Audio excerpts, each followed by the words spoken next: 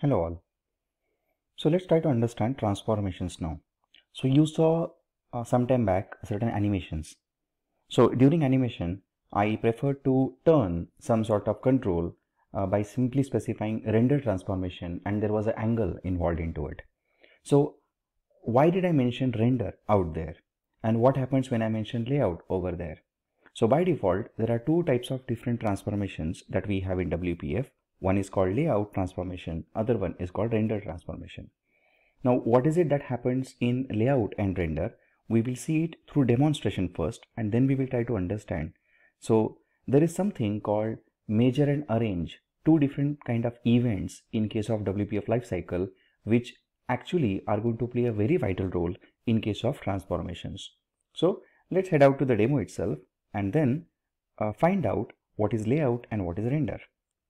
So what I have here, I have Windows 6 and then I have a stack panel. I have ellipse with height, width, uh, some fill red color. Then I have a rectangle here with height, some height and width. I have some fill color like yellow. And then I have a slider. This is something that we have already used in case of element to element binding. I mentioned the name of the slider as SLD. I mentioned height is 80, width is 200. Minimum, the slider value on the extreme left is 0 and maximum is 360. And now what I'm going to do, by default, when I run this application, like Windows 6, what you will see is by default, I can move this slider from here to extreme right and default is going to go and have a value like 360. But then as of now, none of the controls are bound with each other. They're simply are uh, there in case of stack panel. So now what I want to do, I want as and when the slider moves, I want rectangle to turn its angle. So ultimately I'm going to specify rectangle here will have a render transformation and I'll mention that it should be a rotation with the angle. Now instead of hard coding the angle, I'll mention it should take the angle from an element which is binding element called as SLD and it should take a value from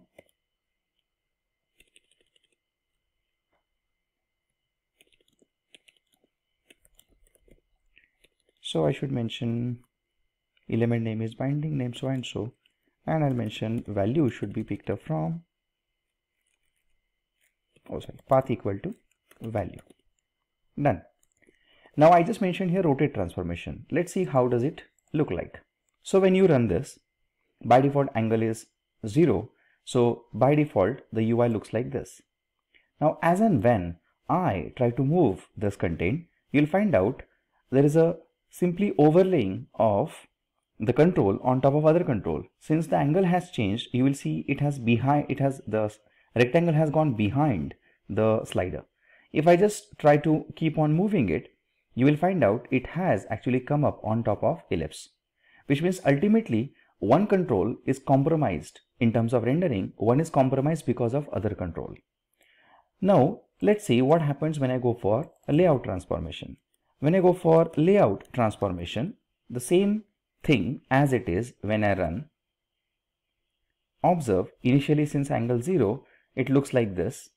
Again what I'm going to do is I'm going to move these controls little left and now if I move again you will notice now there is no compromise in terms of rendering.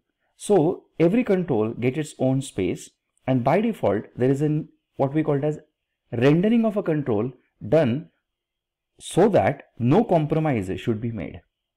You will find out in layout transformation, there is no compromise in case of UI positions, which means every control will get its own specific space.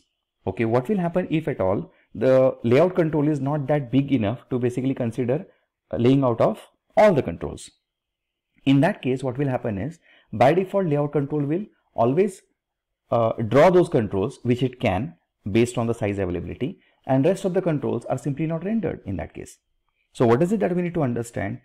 In case of render transformation, it doesn't matter like how much angle or how much so-called skewing or how much scaling is what you're looking for.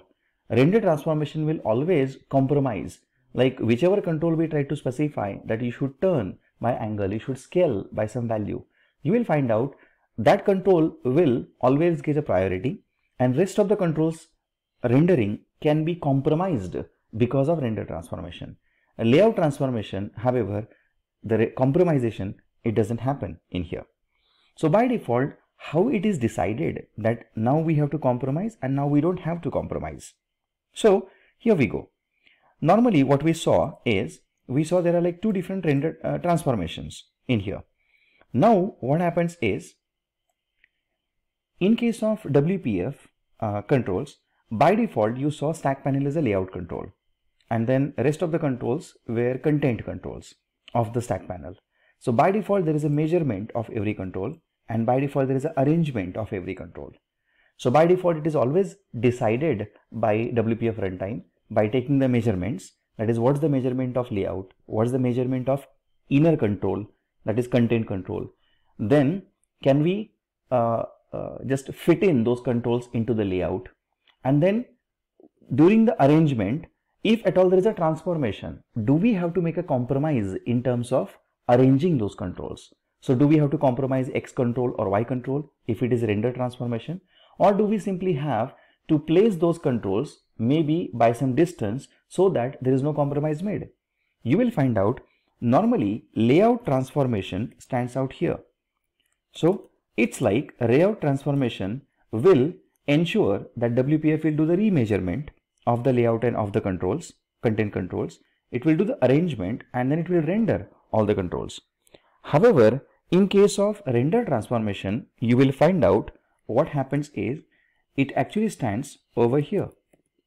So it's like render transformation here, which means first the layout control measurement is taken, the uh, content control measurement is taken, and then there will be arrangement made. And then the transformation happens, which will tell now this control has to be tilted by so and so angle. So ultimately what will happen is the controls will have to be rendered by doing a compromisation. So you will find out in layout there is no compromise. In case of render there is going to be compromise.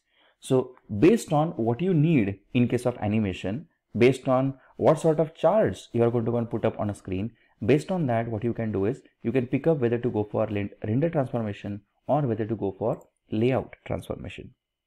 I hope in this simple demonstration I made layout transformation and render transformation clear to you all.